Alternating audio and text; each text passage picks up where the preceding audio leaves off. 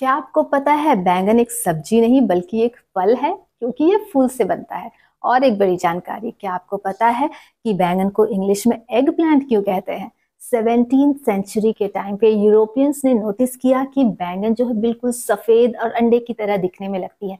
तब से उन्होंने इसे एग प्लांट कहना शुरू कर दिया और ये वर्ड जो है इंग्लिश में इतना पॉपुलर हो गया कि हम अब बैंगन को इंग्लिश में ब्रिंजल या फिर एग प्लांट भी कह सकते नमस्कार, मैं हूँ होम कुक रूमा और मैं करती हूँ आपका स्वागत डियर फ़ूड में।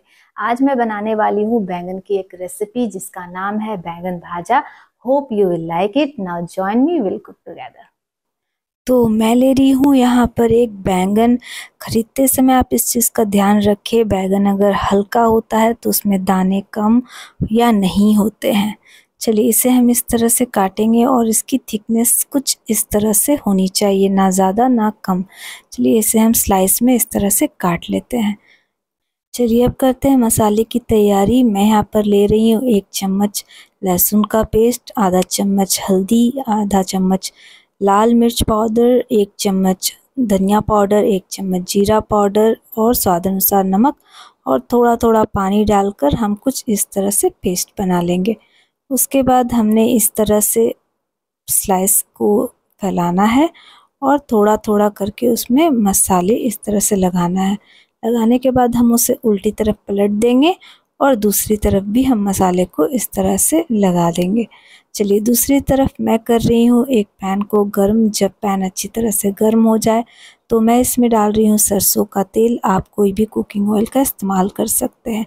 अब हम लो फ्लेम कर लेंगे और इस तरह से बैंगन को उसमें फैलाकर बनाएँगे। हम बीच बीच में चेक कर लेंगे कि ये हुआ है या नहीं, लेकिन हम इसे बार बार पलट कर नहीं पकाएँगे। एक तरफ़ हमें इसे पूरी अच्छी तरह से गोल्डन ब्राउन हो जाने देना है, उसके बाद ही हम इसे पलटेंगे और बस हम इसे दो बार ही पलट रहे हैं और सीधे उसके बाद हम इसे निकाल लेंगे। तो मैं इसे निकाल लेती हूँ, दोनों तरफ़ गोल्डन ब्राउन हो चुके हैं।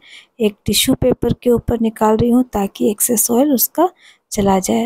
अब अगर पैन में ऑयल कम है तो हम थोड़ा सा एक्स्ट्रा ऑयल ऐड कर लेंगे और एक दूसरा बैच भी इसी तरह से रेडी कर लेंगे। तो ये है अब सर्व करने के लिए रेडी हम इसे खा सकते हैं दाल और चावल के साथ, ये बहुत अच्छे लगते हैं। पराठे या रोटी के साथ भी आप इसे खा सकते हैं। ये किनारे से क्रिस्पी मसालेदार और बहुत ही सॉफ्ट और टेस्टी होते हैं। खाइए इसका आनंद लीजिए और मुझे बताइए आपको कैसा लगा। मैं मिलती हूँ आपसे अगले वीडियो में। Till then keep eating and take care